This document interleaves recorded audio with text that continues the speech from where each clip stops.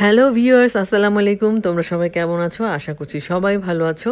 আজকে দেখাবো লাউ দিয়ে ইলিশ মাছ রান্না। একটা ইলিশ মাছ কেটে হলুদ আর লবণ মেখে নিয়েছি। লাউ এভাবে কেটে নিয়েছি। কড়াইয়ে পরিমাণ মতো তেল দিয়ে এর ভেতরে পেঁয়াজ দিয়ে ভালো মতো ভেজে নেব। হালকা ব্রাউন না হওয়া পর্যন্ত পেঁয়াজগুলি ভাজতে থাকব। এভাবে নেড়েচেড়ে ভাজা হয়ে আসলে এর সাথে বাকি মশলার উপকরণগুলি দিয়ে দিব। প্রথমে দিয়ে দিচ্ছি পেঁয়াজ বাটা এক চা চামচ। এর সাথে খুব সামান্য মশলা, আদা, রসুন এবং জিরা, আধা চা চামচ বাটা দিয়ে দিব। মশলা নেড়ে দিয়ে অল্প পানি দিয়ে কষিয়ে নিব ভালো মতো। দিয়ে দিচ্ছি পরিমাণ মতো লবণ, হলুদ এবং মরিচের গুঁড়া। ভালোভাবে মশলা নেড়ে চেড়ে এর সাথে দিয়ে দিব লাউ।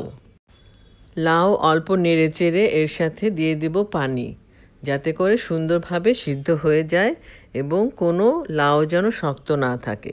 তবে এটা কচি লাউ বলে অল্প সিদ্ধ করে নিচ্ছি আমি। ঝোলের পানি দিয়ে আরও মিনিট পাঁচেক এভাবে ঢেকে রান্না করব। লাউগুলি সিদ্ধ হয়ে এলে এর সাথে মাছগুলি দিয়ে দিচ্ছি। এখানে আমি একটা ইলিশ মাছ নিয়েছি এবং মাছগুলি দেওয়া হয়ে গেলে একটু নেড়ে চেড়ে দেব যাতে মাছগুলির মধ্যে সমস্ত মশলাগুলো সুন্দরভাবে ঢোকে এবং কিছুক্ষণ আরও হাই হিটে জাল দিয়ে নিব। চেখে দেখে আর একটু লবণ দিব এবং সেই সাথে আমি কাঁচামরিচগুলো দিয়ে দিচ্ছি যাতে করে কাঁচামরিচের সুন্দর একটা ফ্লেভার আসে। একটু ঢেকে রাখব যাতে কাঁচামরিচের ফ্লেভারটি তরকারির মধ্যেও ঢুকে যায়।